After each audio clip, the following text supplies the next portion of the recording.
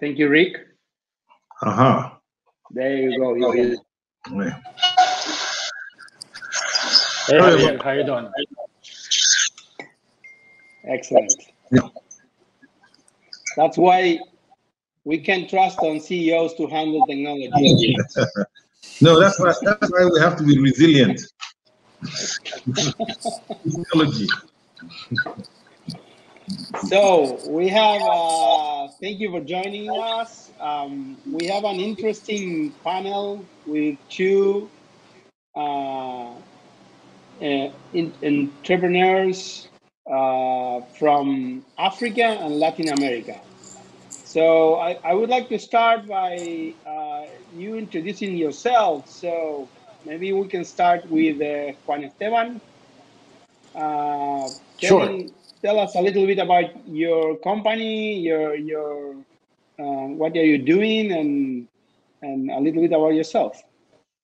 Sure, Javier. Uh, hi to everybody. My name is Juan Saldarriaga. I'm an entrepreneur here in Colombia. Um, fintech space, lending platforms. Um, I'm co-founder of two of the uh, biggest uh, online lenders in, in Colombia, RapiCredit, uh, which uh, we just passed the one millionth loan last month, and Juancho Te Presta.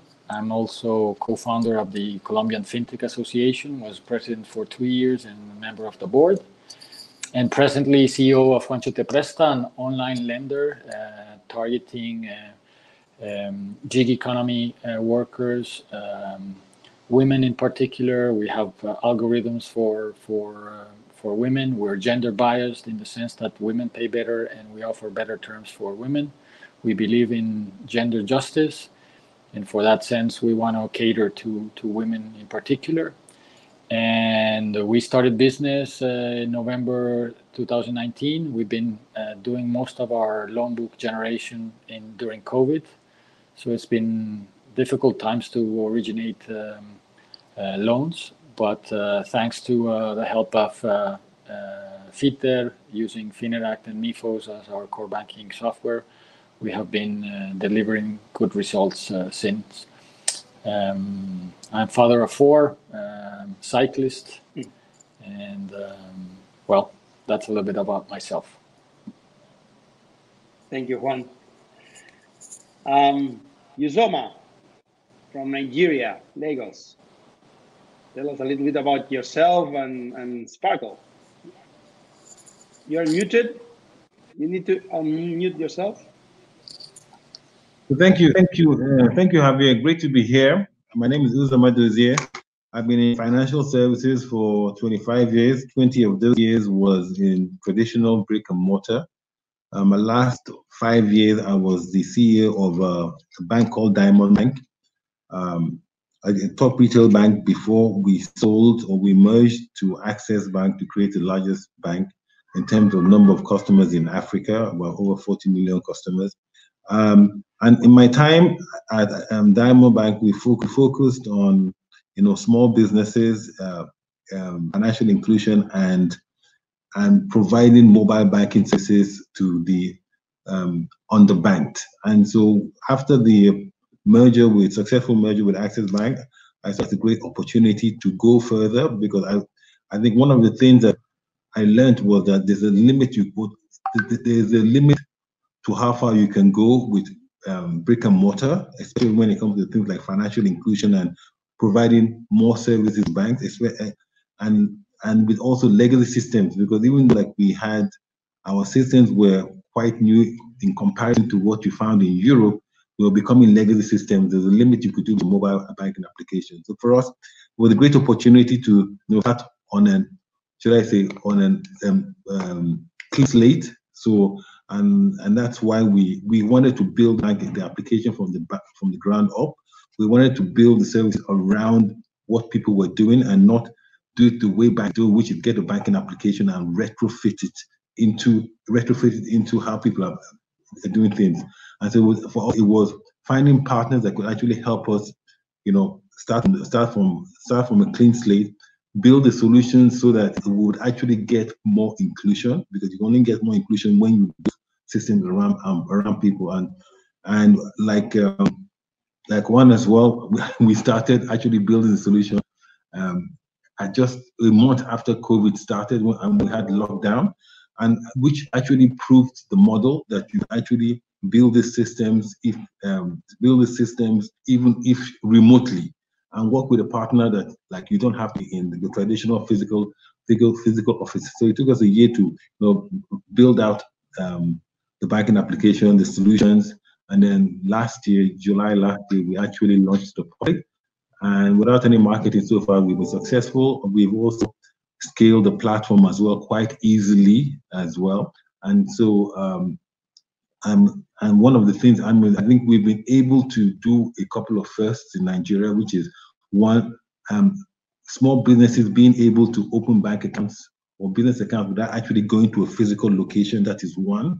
Second part was also building business support services around the banking application. And so now it is so now you have businesses that not who do who who have their their their their banking services on the app on a, on a mobile phone. No, they actually carry their business around with them. So it's not just their banking services, but business support services as well. And, and I think this this couldn't have been achieved if we didn't have you know a platform that allowed us to put things together, API and with, and with APIs and with minimum effort and all cloud based. So great to be here and great to be telling this story.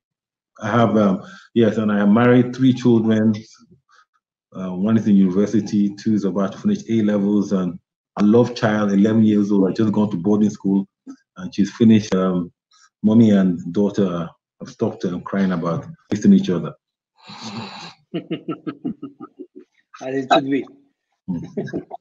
so we we this is a, a FINERACT conference. So um, we'd like to, and, and, and I can tell you, the majority of the talks are very technical, deep technical talks, and the audience is technical. But it, it, it was interesting for us to uh, have the, the, the big picture perspective. So bring this two two successful CEOs, uh, um, um, entrepreneurs who who been in the in the business, and and and, and allowed us to understand how this platform fits on the on the on the big picture. How how, how this platform manages to to work with the other parts of the organization. So that, that's what we wanted to understand. And, and my first question would be um, um, why did you why did you choose FINERACT?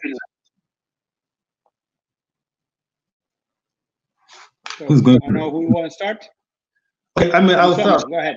So I'll go first. You know, like, first of all, I mean, like we're a startup, and so when you're a startup, um, for us, we wanted to leverage uh, technology and what technology offers. One, I think the first one was like as a startup, your cash flow is very, very I mean, like your cash flow is cash flow is king, and so you wanted to hmm. scale up. I remember what like I mean, like when I started buying, when I started banking. I mean, when you bought in the banking application, it was a huge capital investment. And if you and then you needed to get to like I remember we needed to get to fifty thousand customers before we even broke even on the cost. Now you could afford to do that as a startup. I mean, like Sparkle. So we wanted to first of all build a banking application that first of all allowed us to to maximize our raised investment was one. The second one was we also wanted one from like the cloud based because very very important. We didn't want any servers. We didn't want anything that would actually restrict our, our ability to work anywhere that we wanted to work. Third, pricing was very very key. But pricing is also a function of how much you pay upfront, and then the fourth and the most important was speed to market as well.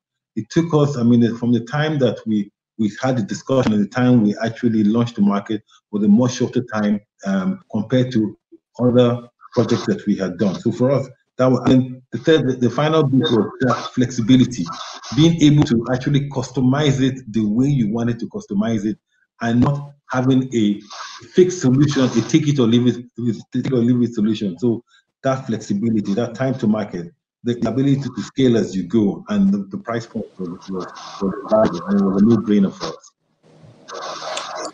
Uh, so, I, I, I, I think Uzoma has uh, has uh, kind of uh, answered the right, uh, I think, um, issues. Uh, I think it was something about pricing, and and I would only add that uh, being able to you know kind of own the solution and, and move it wherever we want to go for us was a, a key decision, and how fast we could you know uh, personalize it or customize it to our needs and not be constrained by by a software or a solution that uh, you know at the end you know hinders the way you want to uh, position your product or your brand or how fast or slow you want to go. So for us i think that that, that was very important. But uh, Uzoma was very very right on saying you know price being being bootstrapped you know you, you need you need to um, make every dollar uh, um, you know be useful. And, and, in that sense it was a right decision. And, and i don't regret it any, any one single moment i think Juan makes so, a good, so, I think Juan makes a very good point about yeah. um, going as fast as you want to go because one of the things about you know traditional applications is that you have to wait for releases before you get what you want and if you order or you start customizing it and then you get you risk you know like when it comes to the new update because you've customized your solution it's very difficult to actually get the right update so i think that whole the whole FINERACT allows you to go as fast as you want without any disruption in the future about any future releases and that's very very key.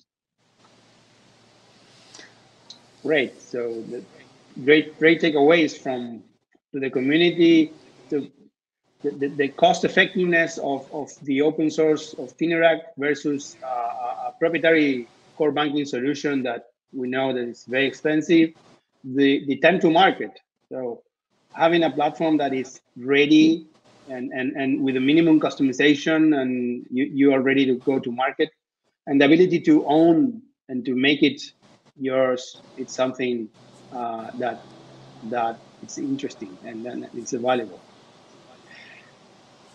I think Valentin is going to post a question. Whenever you want, Valentin, just post it. I, I will read it. Um, the, the next question is, so if you are, um, what, what are the things that, that, that FINERACT uh, needs to, how, how, do you see the, the, the system itself? It's, and, and, and what things do you, you, do you think that needs to be improved uh, as a platform so the community can take care and, and, and, and, and and, and hear the users and, and listen to the clients and the user what they need? Um, I, would say once you, you you take the core and start building on top of it, I think everybody ends up on a product of their own. So I think each of us now has a version of, of FINERACT that you know it's it's um, individually different from from although we share a lot of of uh, base software i think at the end everybody that starts out from FINERACT and starts developing on top of it we end up with our product of our own and so you know we just uh, keep going from there so I, I, think as, as a base start i think or what i uh, the, the, the, the software that i used to start at that, that version uh, three years ago i think was sufficient for any fintech uh, to start, you know, a reliable and and and uh, business. Um, probably after that, I think a lot of improvements have gone on top. But you know, it's an open platform API.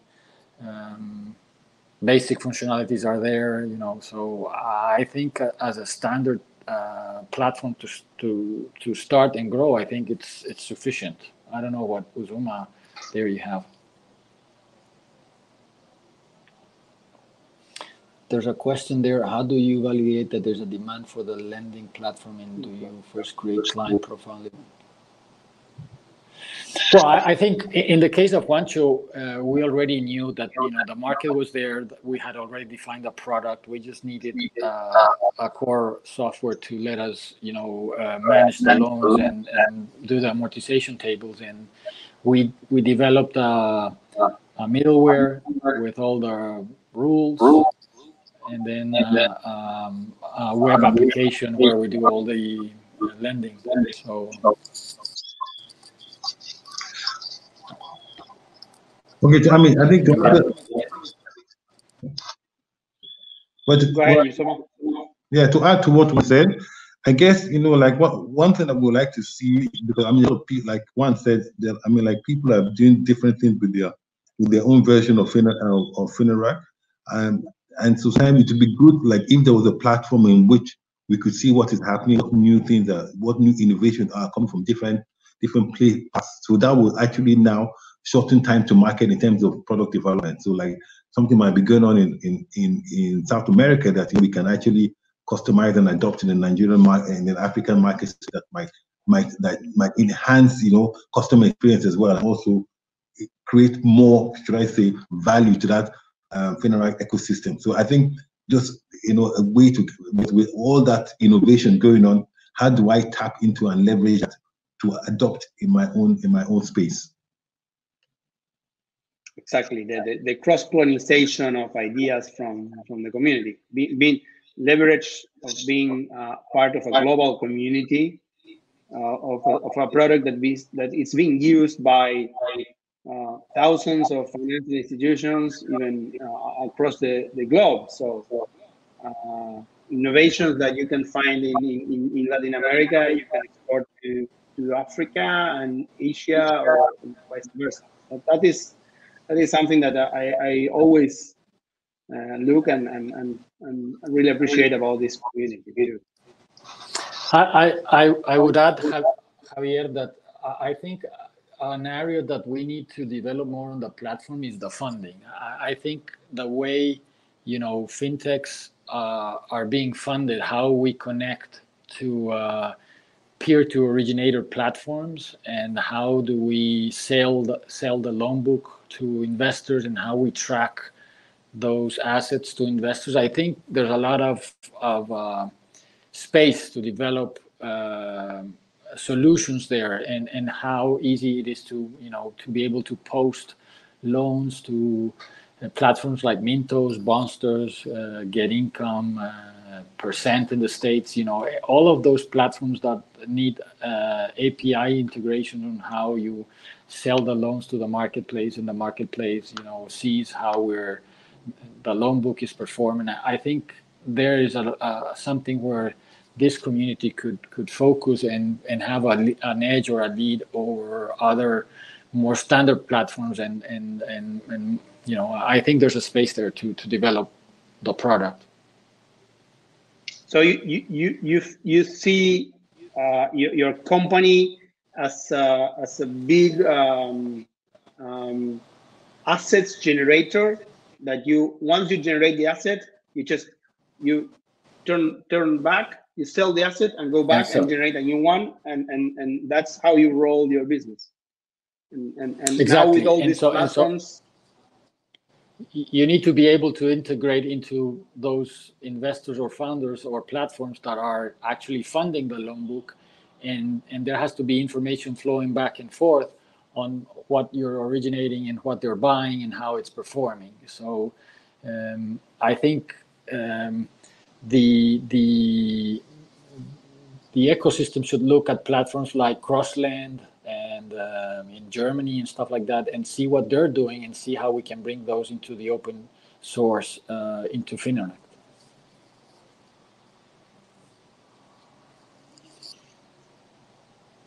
So we have a question from Ganesh. Uh, what are the limitations of going to market with an open source and a traditional system? Is there a possible market crash that is going to move away from the traditional fintech? So basically, what, what are the limitations? Uh, there's open source versus traditional system. Um, I think I, I, I, I don't grasp to totally the yeah. question. Me neither. Maybe you, saw my. you're muted if you want to talk. Um, um, well, the limitations, I don't know what the limitations are, but I think one, I mean, like uh, traditional system, the capital outlay for traditional system is very huge. So if there's a if, if there's a, there's a, there's a downturn in the market, your ability to like you know, I mean, your losses are your capital. I mean, like your losses are more, and your ability to um, adapt to the market is actually going to take a longer time because because those are traditional systems. They have a lot of dependencies on like open source where the people that you depend on are actually limited and you can actually address the issue. With, um, with traditional systems, um, you're going to find a lot of people will have the same problem and the, the resources required to actually help change is going to be is going to be in demand. And so that it might take a bit longer. So that, that's what I see. Uh, there's a question from Sean McKinney, but I think that it's a it's a pretty much technical. Basically, the question is around um, and, and if you are contributing back your the, the, things that are developed for your company to the community, or some of them. Uh, what, what is your, I, your, your feeling about I that? think, yeah, yeah, I think we, we have we have um, authorized the, the pushback of, of, improvements into the community. Um, my, my, biggest concern, and, and, maybe Javier, you can help me on that one, but my my biggest, probably the biggest downside of of of using the open source and, and customizing to our need is that future releases are hard to incorporate into our solution. And, and maybe Javier, that, that's even a question I have. What would be the best way to? Because once you start, once you start changing the, which you constantly do, because the business starts moving in different directions, we end up in, in, in versions that are not easily merged with the most updated version of the Fineract. And so I think that's the biggest issue in my in my opinion of uh, of using Fineract in general is that uh, you know it's difficult then to take back any new releases into your own uh, version. Yeah, that's that's a trade-off that we always have on. Do we have like a, a um, um, um, approach of forking, just taking a new direction of the of the software and, and, and don't look back? Or, or be upstream first, which is we stay with what the community has and, and whatever we, we do, we contribute back. That that, that is the, I think that that's one of the for, for us is the best approach to be upstream and try to contribute as much as you can. And sometimes you can't because uh, the community won't accept the the contribution and it's not or it's going to make a, a big change but uh, it's it's it's it's a trade-off. Uh, and sometimes you need to do things that are not in direction of the community, and sometimes the community takes some direction that is not on, it's not what you need, what required. And then you need to bring some um, features or upgrades that you don't need or are, are going to collide with the things that you already have but staying staying on top of the community and, and, and making sure that you are running the last version it's something that, that you should be doing. Anybody should be doing that. And, and although they yeah but but but, but, but, but I but I find you yeah. don't go, but, but, but, but I but I find that in practice technically almost impossible. I think. I, I I might be wrong there in answering to James is that at, at the end, you know, uh, once you once you take off on your version, it's, it's the challenge is that you have to keep on on on on top of your, up, your upstream developments, and so I think it's now up to Juancho to be putting or plugging in new features uh, that we think are necessary and being you know uh, innovation is on our side. I think it's not on the community side. Once once we take off with our version, it's us the challenge that we keep on top of the innovation and I find it hard to give back, and I think it's even harder to to pull back what the the community is putting in the latest version. And and if anybody has ideas on, around that, I'm more than willing to see how you know we can either give back or or be able to use more.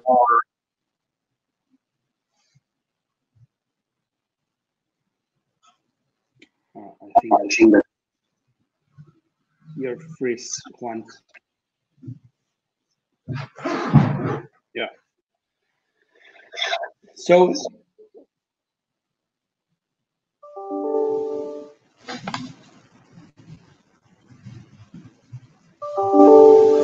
yes, yes James is us is giving a practical example and and so um Uzoma.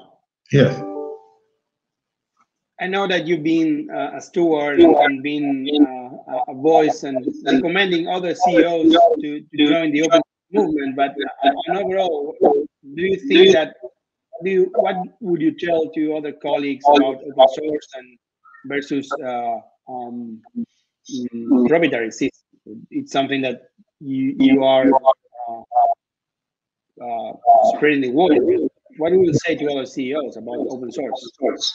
Well, I'll tell you that beyond, I mean, like, I mean, and let me speak from a developing the developing market. Uh, what you will find is that each environment has it has its own context and different stories. So, like, the, the infrastructural problems that you have, or the problems or or segment customer problems you have in in Nigeria are completely different from the ones you have in Ghana just down the road, or the ones you have in, in other parts of Africa. And so it's very difficult to get a to to use a, a traditional banking system that will address most of the issues, the customer issues in, in a different environment. And, and that's the advantage of open source. It allows you to understand, first of all, understand who your what your customers are and tailor a solution around it. It's very, very difficult and very difficult and very expensive to customize traditional global system to address, should I say, two million people in a particular in a particular environment. With open source, you can do that, and you can do that in a cost-effective manner. Because in the whole idea of trying to, you know, take financial services down to the bottom of the pyramid, it must be one that makes economic sense. Because once you start, you know, once you and the problem with, with traditional applications is that the more you customize them, the more expensive they are, and you can't pass on those costs to people that you're trying to serve. And so open source, I think open source, especially in developing markets, or should I say, even in testing new markets and new areas, if you want to do tests, you want to like you know do tests in a very cost-effective manner, and that's I think that's that's the advantage of open source, and that's what I don't see is it allows you to experiment. You know, in Africa, I think in our market, the problem with experimenting it costs a lot of money. But if you can find a way to experiment and test and learn, you can do so many of them, and that, I think that's the advantage of open source. Great. Yes. Um, testing and learning fast and, and, and, and, in, a, in an expensive way, it's something that makes a lot of sense of today's business the internet era and, and all the communication.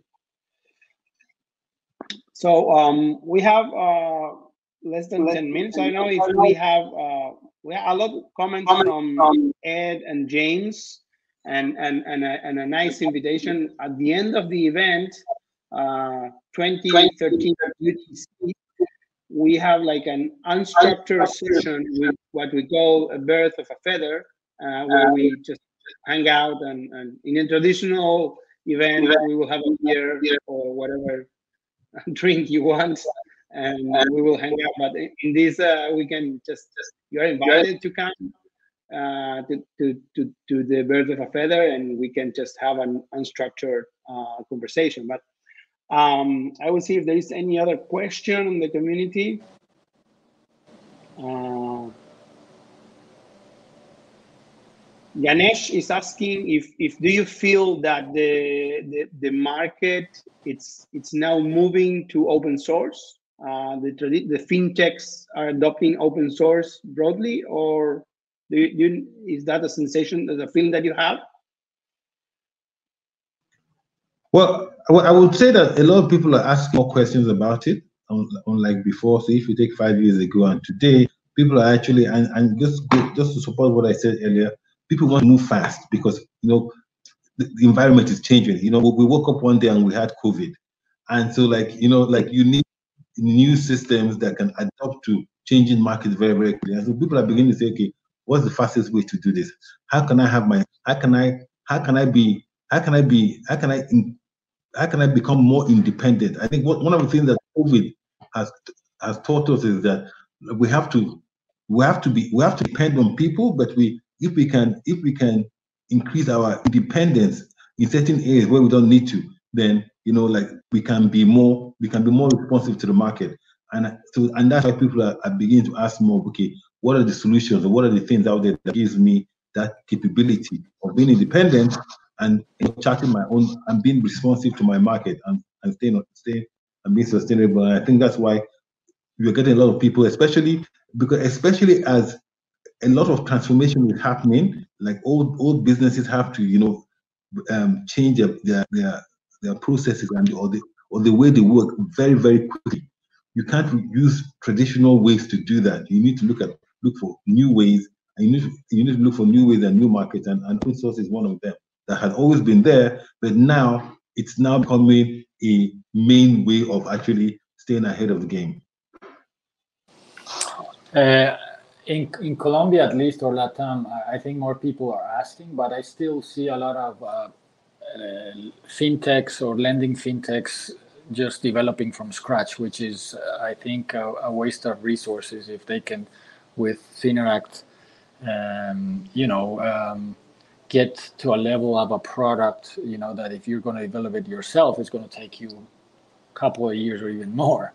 So um, yeah, I, I think a, lot more needs to be uh, shared and to people to understand the benefits of it. I think we need to do a lot of more of, of, of teaching and, and helping people really take smart decisions because I still see a lot of, of, of entrepreneurs starting from scratch their their software and, and I think you know there's a great tool here that can be used and so uh, yeah that's and prouding themselves that we build everything from scratch okay. Um, James Daly has a question. Uzoma, uh, good to see you again. We met in Lagos a few years ago. Um, I'd like to ask you about your efforts around the green bank and carbon financing. And can you share some requirements with the community around this? I think some folks would be interested in helping to solve climate change with a project that sits on top of Fineract functionality. Okay, and that's an that's an interesting question. I don't. I mean, like one of the things that you know, and I'm, and that's an area that we have interest in, but we don't have, should I say, the knowledge or the capability. And so I'm open to a discussion on how how that can be done because even as digital, I mean, as a digital platform, we are already, I mean, like our carbon footprint. I mean, we're trying to make sure that we we we are, we are aware of our carbon footprint, but we don't we we don't have the expertise or the skill or the resources to you know to take that to take that further. So that that's an area that we'd be interested in, be interested to find out because we are. I mean, first of all, we're not only are we digital, we're paperless, and we're also trying to you know like use more uh, renewable energy to run our business than uh, than most traditional outfits. So it's, it's an area that I'm not very conversant about. I can't speak much about, but it's an area that you know that we would like to also see um, how far we can can go. Awesome. Um, I know if there's any other question from the audience. You can just put your questions on the chat. Okay, if not, um, I would like to thank thank you, Zoma and Juan, for, for your time. Um, it's, a, it's an interesting view from the top of the of, of, of two successful uh, startups in the fintech space in two different uh, regions, but that we are sharing the same core, which is uh, one of the the, the, the, the most exciting things about this this this community is that we we work together. We we we can have people from every everywhere in the world doing things that are kind of different but have some similarity and we can share it with the same platform. So um, if there's no more questions thank you for your time Uzoma and Juan and and we have the next session in 10 minutes. I will put a link to the next session there, and you are welcome to extending Fineract accounting using Odoo. Oh. That's our next.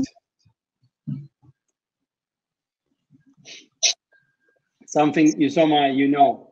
Yes, exactly. That's why I smile. Excellent.